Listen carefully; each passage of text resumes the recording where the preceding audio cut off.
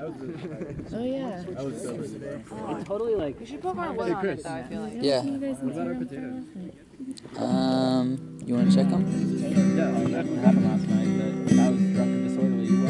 Push you in your bed.